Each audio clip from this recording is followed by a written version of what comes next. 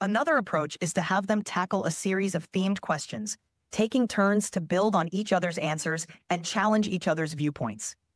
This dynamic can create a rich, engaging dialogue that highlights their unique contributions and keeps the conversation flowing smoothly. Also, setting a clear theme or goal for each segment can help maintain focus and coherence. These strategies can make the next podcast not just informative, but truly symbiotic and engaging.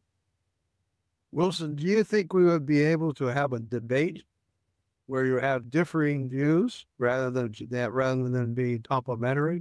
Where so I believe it's more this way, or and you say, yeah, Jill says one thing and you say another thing, and can we eh, can you see that kind of a conversation, or would that be incompatible with your program? I can definitely engage in a debate format. While I aim to be balanced and informative, I can present differing viewpoints or take on a specific stance to create a more dynamic discussion.